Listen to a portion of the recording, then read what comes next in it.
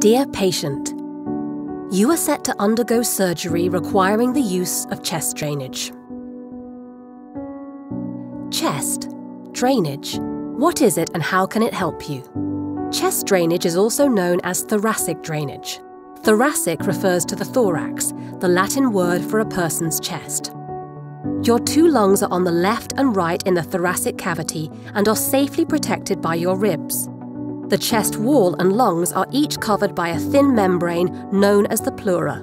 In the space between the pleurae, the pleural cavity, a fluid film ensures that the lungs and thorax slide easily against each other as you breathe. The negative pressure in this cavity prevents the lungs from collapsing. If lung tissue becomes damaged, for instance through trauma or in surgery, air and or fluid enters the pleural cavity, increasing the pressure towards atmospheric pressure. The lung collapses. To enable the lung to re-expand after surgery, the air and fluid that has entered must be removed, or more specifically, drained.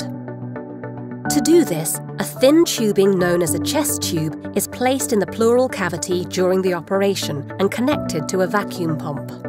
This chest drainage system removes excess air and fluids, such as blood or wound secretions. The healing process is complete once the natural negative pressure has been restored and the lung has re expanded fully. The Thopaz Plus digital chest drainage and monitoring system facilitates your healing process. This handy battery operated device can get you back on your feet faster. Simply remove the device from the charger and make sure not to pull on or bend the tubing. Peace of mind. The smart digital system Thopaz Plus raises the alert when the canister is full, the battery is low, there is a blockage or leak in the system, disconnection or leakage has taken place. If you hear an alarm, please inform the nursing staff. Never adjust the settings yourself